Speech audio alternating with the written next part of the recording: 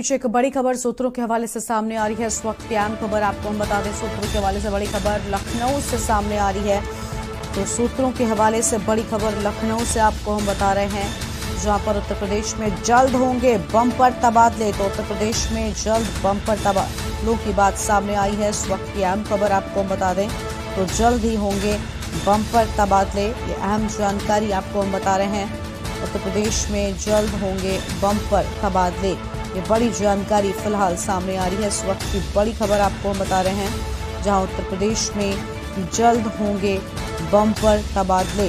तो उत्तर प्रदेश में जल्द बम्पर तबादले की बात सामने आ रही है और हमारे साथ हमारे संवाददाता संदीप मिश्रा फ़ोन लाइन पर जुड़ चुके हैं। संदीप, चुनाव संपन्न हो चुके हैं, सरकार भी लगभग बन चुकी है और अब जल्द तबादलों की बात सामने आ रही है।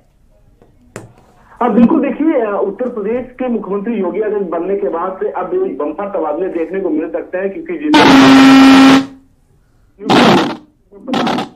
की एक सूची बनाई गई है, वो सूची तैयार की गई है और सूची मुख्यमंत्री कार्यालय पे भेजी जा चुकी है। जिसमें पचास अफसरों का नाम की लिस्ट जो है वो शामिल है। इसमें उत्तर प्रदेश के मुख्यमंत्री ने फाइनल रिपोर्ट लगानी है। उसमें मोहर, अंतिम मोहर लगनी तय है क्योंकि जिस तरीके से हरी झंडी जैसे मिलेगी तो एक्सप्रेस की जो सूची है, वो पूरी तरीके से तैयार होकर के निकल के आएगी। इसमें कई आई अधिकारियों के नाम है और कई चीफ अधिकारियों के नाम है।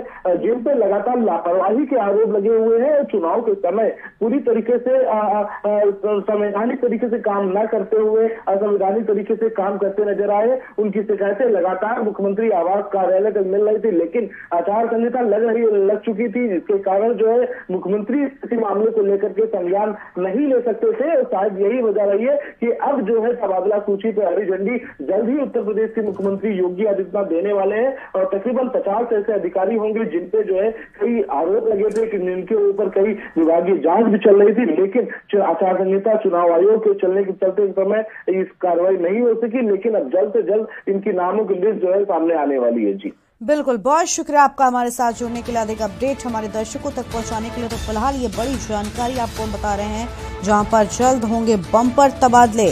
तो बम्पर तबादले होने की बात सामने आई है, इस वक्त की अहम खबर आपको हम बता रहे हैं।